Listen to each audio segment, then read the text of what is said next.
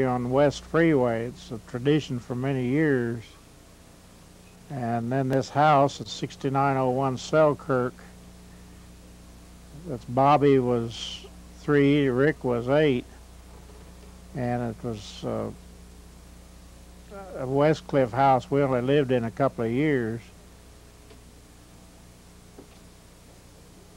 We had a family celebration every Christmas. That's a TV we got. Admiral, that's our first TV. There's Rick's first bike.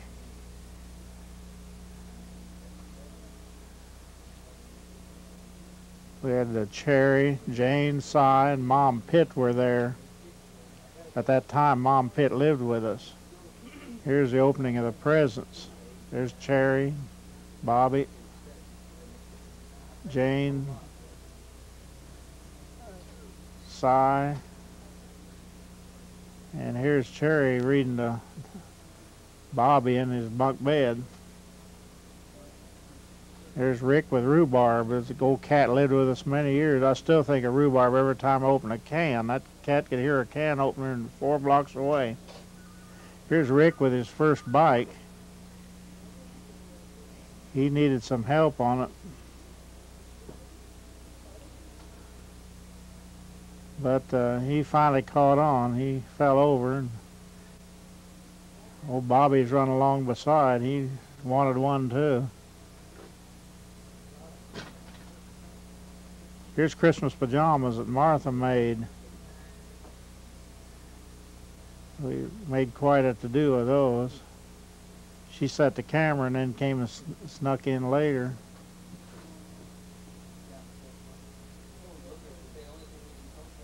There's the bunk beds we had for the boys.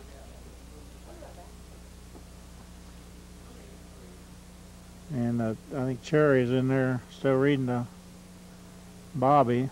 There's Bobby and Miss Pitt, Martha, Cherry, all dressed up. Cy, I think it was Easter. They uh, went to Doris Kaiser's, Beth and Doris's mother lived over in White Settlement. Of course, Rick and Bobby had to show off. Every time the camera was pointed at them, they showed off. But they were quite dapper in their new clothes. And then here's Rick. He was in the Cub Scout. Martha had a troop. She was very proud of it and bragged about it for the rest of her life, about her boys. One of the Cub Scouts was young man named Ben Herman. And he later ended up working for Paul at Printing Center. He's uh, now got his own printing plant. And he's a very fine young man. Now there's Rick showing off. He's a professional now on his bike.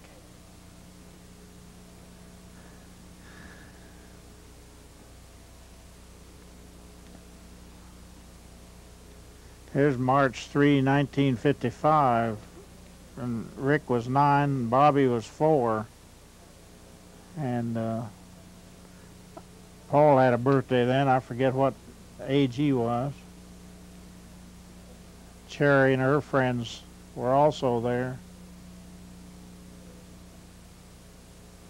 Here's Rick blowing out his candles.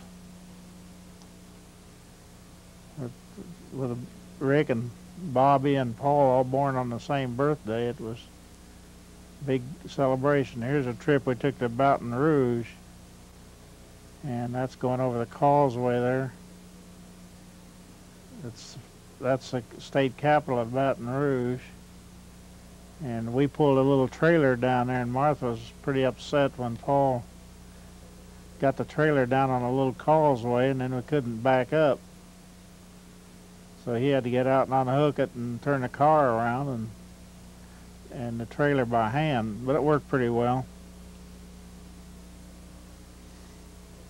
Here's a river dredge And uh, there's a New Orleans Zoo. It was a, a uh, the weather was bad that day, but the pictures turned out pretty well. We were amazed. We were experimenting with this old Kodak camera at that time, and uh, it turned out pretty well.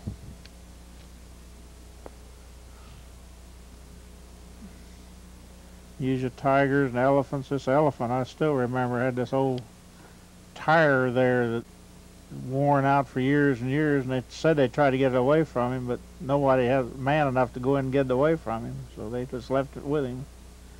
There's the usual French balconies in New Orleans. We've been back many times since then. And the curious New Orleans uh, cemeteries, everybody above ground, if they put them below ground, they float off.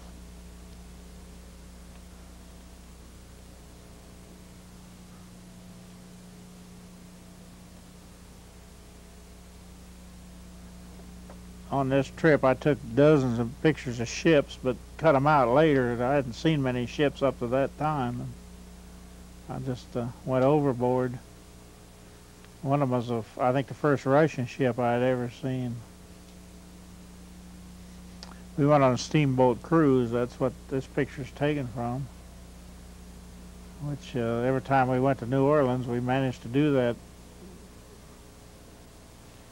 there's the Lake Pontchartrain Bridge. It's rather a foggy day.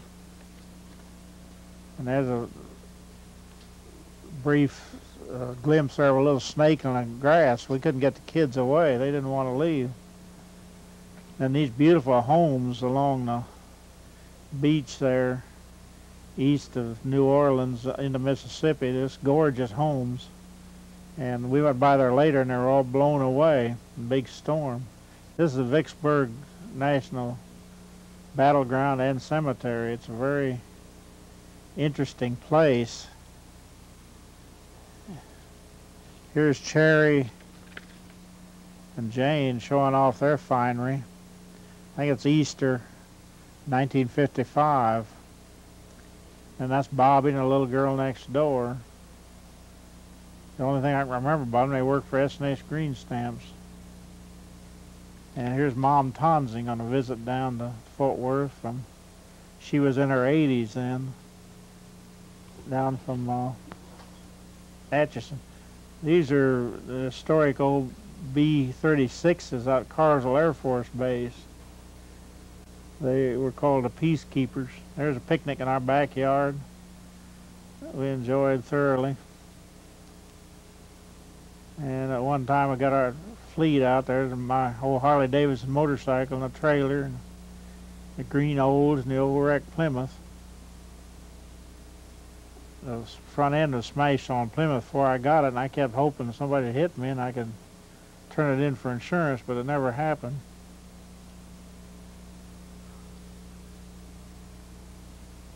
This is Cherry's sixth birthday. I don't know who took the picture to cut off all the heads, but I guess they're more interested in tables. This is Leotha, who used to work for Aunt Gladys. She was quite a character. The uh, kids are mostly Cherry's friends.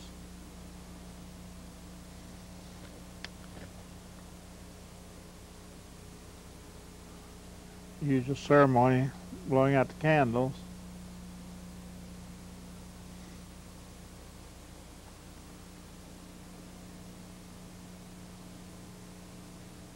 Cherry was also quite a ham when you turned the camera on her.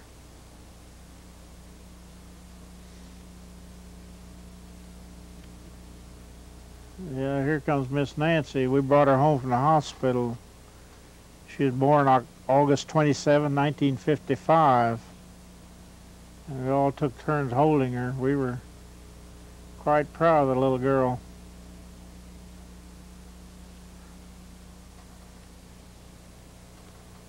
There's Martha taking pictures of, of her. There's a few pictures of the, new, uh, the Fort Worth Zoo.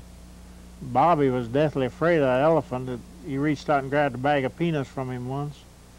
These old tractors were along University at that time. And is built up now with filling stations and restaurants. This is Christmas 1955, of course. Later, we had an upside down tree we hung from the ceiling, and at first the kids were shocked at it, but it turned out to be a pretty good idea. It gave us lots more room underneath it. But uh, we're still remembered sometimes for that upside down Christmas tree.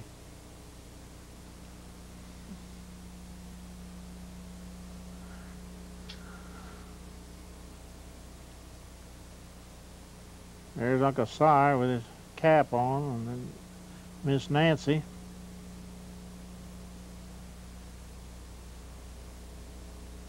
And Martha looking quite pretty. There's Aunt Gladys. She was a big favorite with us. She was a wonderful woman. Crazy about the boys. And Miss Pitt, Martha's mother, she was also quite a gal. We all fought over who was going to hold Nancy. Aunt Gladys was head of city welfare for years in Fort Worth before she retired. She was Martha's father's sister. Here's a snowstorm that uh, we periodically had.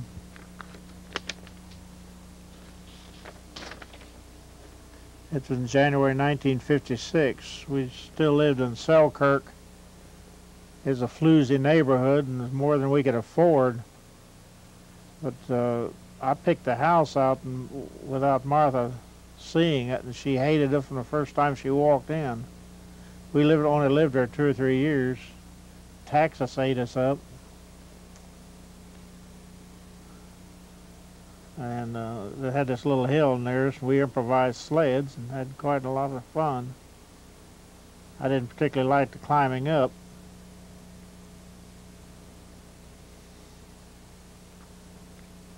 Yeah, there's Nancy showing off. Rick was particularly crazy about her. I think he still is. There's Bobby, his rocking chair. There's a musical rocking chair, play different tunes. And we got pretty tired of the music before the chair wore out.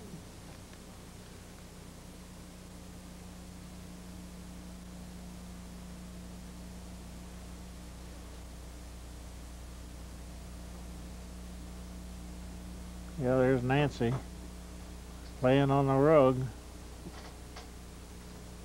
And Martha was slim and slender then.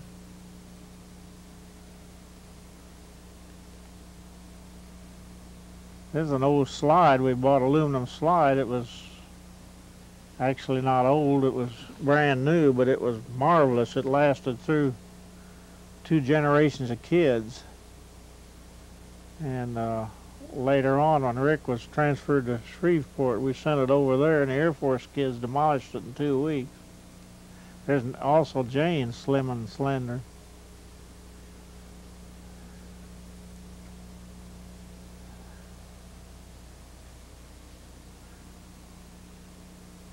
And uh, we had the swings in the backyard.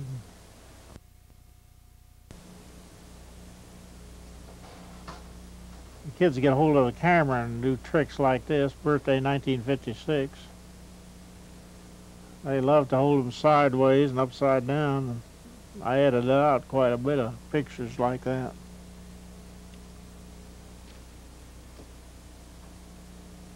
Whoever took these pictures were good at cutting off heads. These were taken on 8 millimeter Kodak camera and is converted at this date, April 28, 1986, to VCR. I'm getting redundant on the kids' names, but uh, I presume it's necessary for future viewing.